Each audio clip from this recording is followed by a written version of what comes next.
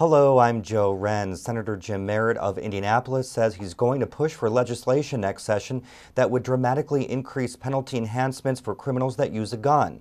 Over the weekend, two police officers, one in Indianapolis and one in Gary, were shot and killed. Seven bystanders were also injured in a shootout in an Indianapolis neighborhood. Merritt says the time is ripe to send a message to criminals who use guns. Last session, Merritt co-authored a bill that allows prosecutors and judges to add anywhere from 5 to 20 years to a sentence if a gun was used in a kidnapping, to illegally restrain someone, or if the crime resulted in death or serious injury. Merritt says next session he'll promote a bill that creates a mandatory enhancement.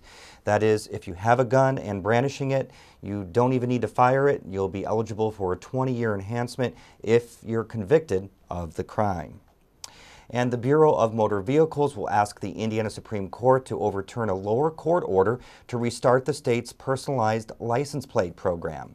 BMV Commissioner Don Snemis says a notice of appeal will ask the justices to overturn the ruling of Marion County Superior Court Judge James Osborn in May. The ruling said the BMV violated the First Amendment rights of some of those whose personalized plates had been denied. Snemis's main objection is with Judge Osborn's rewriting of the guidelines used by the BMV to determine which personalized plates are proper.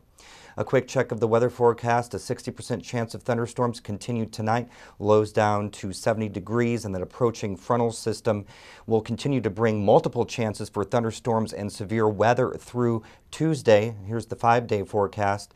Uh, Temperatures much warmer, 82 degrees Tuesday and Wednesday, clearing out Wednesday and Thursday with highs in the lower 80s. More news online at WTIUnews.org.